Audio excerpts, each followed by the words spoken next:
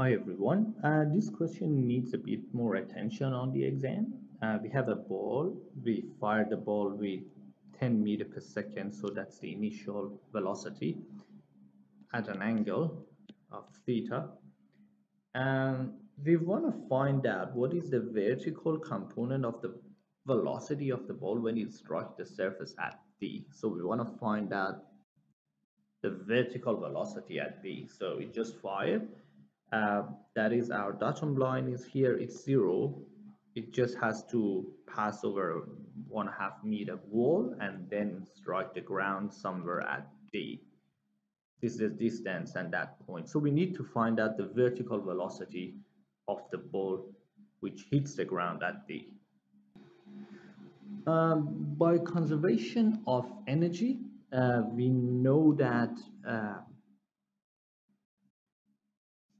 kinetic at A plus potential at A is equal to the same at oops, uh, that is A at B plus B plus kinetic at D plus potential at D. So the energy is conserved at every stage. So the sum of these energy at each stage should be equal to the other stage. So like for example at stage A I have the kinetic energy. It is m v squared but I don't have any potential energy because the the elevation is just zero plus zero. Uh, but at point B I have kinetic and uh, potential so at point A, it is half m is 2 kilogram and v is like 10 meter per second squared plus 0 is equal to half m. Uh, sorry I'm just gonna sub in the values. To velocity at b squared plus uh, potential at b is um, 2 G is 9.81 and the height is just 1.5 so 1.5 from here easily I can find out velocity at B is uh, 8.401 meter per second.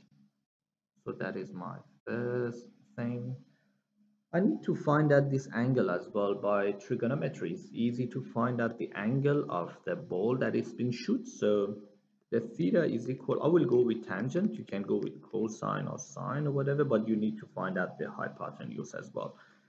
The tangent of theta is equal to the opposite over the adjacent. So this is 1.5 over 2 uh, so from here we find out that the theta is, I need to say tan inverse, the theta is um, 36.87 degrees.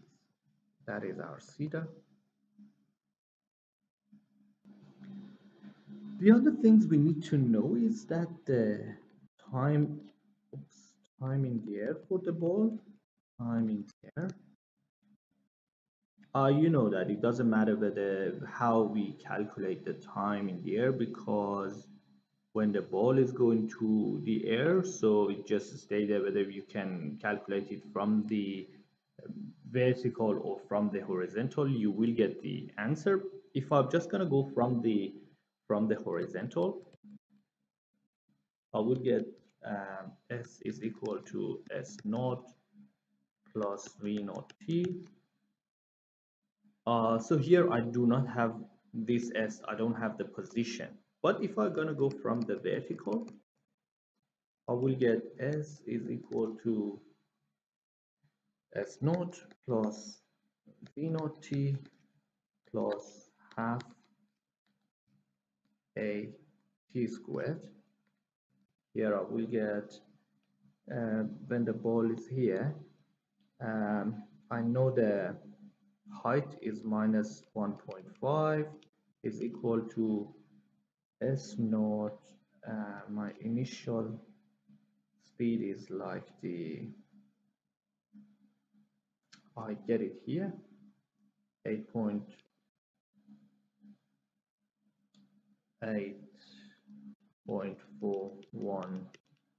I need to because it's here I need to just get it with sine theta sine of the angle 36.87 I don't have t plus half. Here a the acceleration is the just the gravitational force which acts it in the opposite way. So it is minus 9.81 times t squared.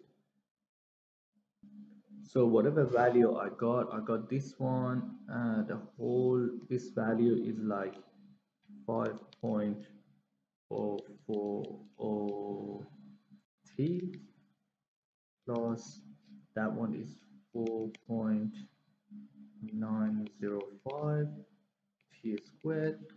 Uh, so now here we have a quadratic. Um, this is our a component this is our b and this is our c. And you know that. Uh, now we want to find the t. The t would be minus b plus or minus b squared minus 4 ac over 2a Oops. 2a ooh, ooh, 2a and so if you just sub in the value because it's going to getting long if I just gonna do this quadratic for you the time in the air for the ball would be 1.269 um, seconds.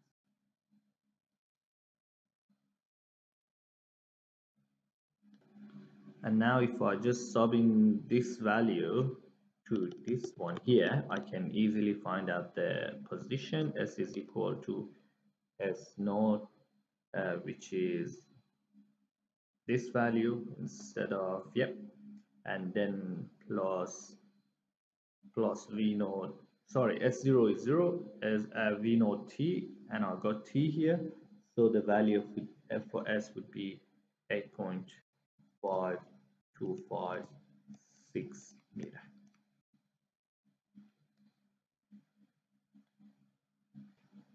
Uh, so as I said in the beginning, I said the energy is conserved. So whatever I get for this T and for the whole energy at point A is equal to the whole energy at point D. So I will go with that strategy or that thought. So um, I would say, we'll just bring it up here. So TA plus BA is equal to T at D plus potential at D. So I've got them here. Um, at point D, um, there is no actually potential because there is no elevation again that is gone. So from here, I can easily get the, what was that, half um, m v squared 10 is equal to half m v day squared so from here uh, I will get easily the VD is 10 meter per second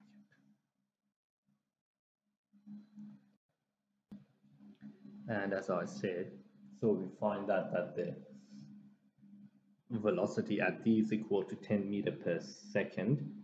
Um, velocity at dy, if you want to find out the vertical component of velocity at d, is equal to, as I con conservation of energy, velocity at by plus gt. So vb times sine theta plus uh, that is 9.81 times and I we got the time here as 1.2695 so velocity at d y is equal to 7.405 meter per second. So which is the vertical velocity at